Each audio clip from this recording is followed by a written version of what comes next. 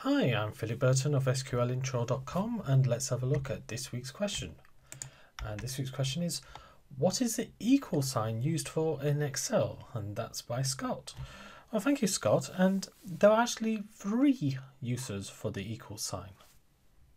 And I'll be curious if you know how many there are. And if you do, why not put them right now? Stop the video and put them in the comments underneath this video. Now, the first use is to start a formula.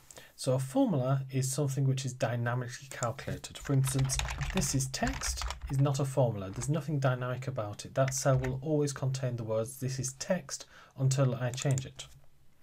However, if I say equals, that's starting a formula. So I can say equals 1 plus 2, which of course is 3. So the equal sign there is donating the very beginning of a formula. Now, you don't actually have to use an equal sign. You could use a plus sign, plus 1 plus 2. However, notice that it has auto-corrected that to an equal sign. Using pluses at the beginning is fairly old-fashioned. It comes from spreadsheets when Microsoft Excel was not the dominant spreadsheet. It comes from spreadsheet programs in the 1980s and 1990s.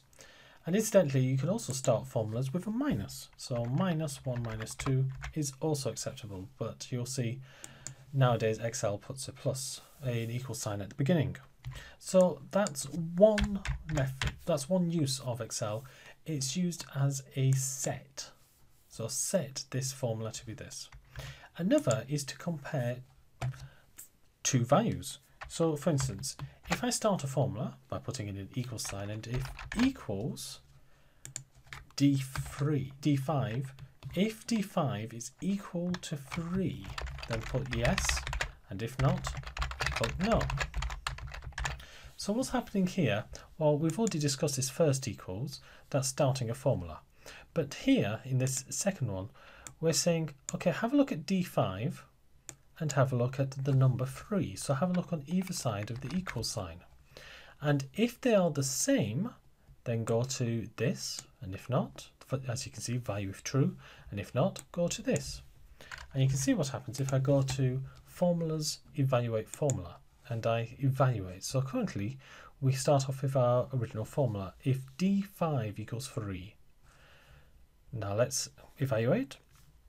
And what happens is it's going to look at D5, which is the underlined bit, and change it for the actual value. So if 3 equals 3, what does 3 equal 3?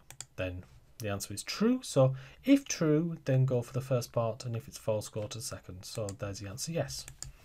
So now, and you remember I was talking about formulas being dynamic, if I change this first formula, so equals 1 plus 2 plus 1, then this second formula, which is dynamic, which looks at the contents of this other cell, it's no longer the case that 3 equals 3, it's now 4 equals 3. Does 4 equal 3? Well, the answer is no, it's false, and therefore it retrieves the false part, the no. And just in case you're using Excel in a language other than English, here you can see the translation of the word if into about 15 different languages. This is the sort of format that I do on my Excel formula courses. And you'll also notice that English is the only one of these languages which uses commas to separate the true from the false. The other languages use a semicolon instead. So that's two of the uses. The first one is to set a to start a formula and the second is to equivalence are these two sides equal? So what's the third? Well, the third is actually just decorative. For instance, I could write if d5 is equal to 3, then put true. So here I'm just using equals in text.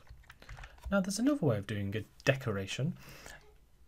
It's like doing an underline. So for instance, this is my heading and I want a lot of equal signs underneath it, enough to fill the cell. Well, first of all, let me show you a good way of getting enough equal signs to fill the cell. You just put one equal sign and then you go to Home, Alignment, and you change the horizontal alignment from general to fill. And now it will repeat that character enough times to fill the cell. So that is another way of using the equal sign as a bit of ornamentation, a bit of decoration. But there is another reason for me wanting to show you about just putting the equal sign. Okay, if I put one equal sign in, fine, the computer accepts that. If I put two, then the computer doesn't accept it because it doesn't know whether I'm entering a formula or text. It thinks I'm entering a formula because of this first thing, the first equal sign. So what it suggests is putting an apostrophe at the front. An apostrophe is the shorthand for this is text. So if I put apostrophe equals equals, it will now treat it as text. And that is a way of putting things which should be formulas as text, or one of the ways. So for instance, if I want to annotate here and say equals 1 plus 2 plus 1 and I press enter, that will treat it as a formula. Whereas if I put in apostrophe right at the beginning, it will now treat it as text. And another way is to go up into the number tab and go to text. Anyway, a lot of detail there. So let's just review. The question was, what are what's the equal sign used for in Excel? And the answers are to use to start a formula,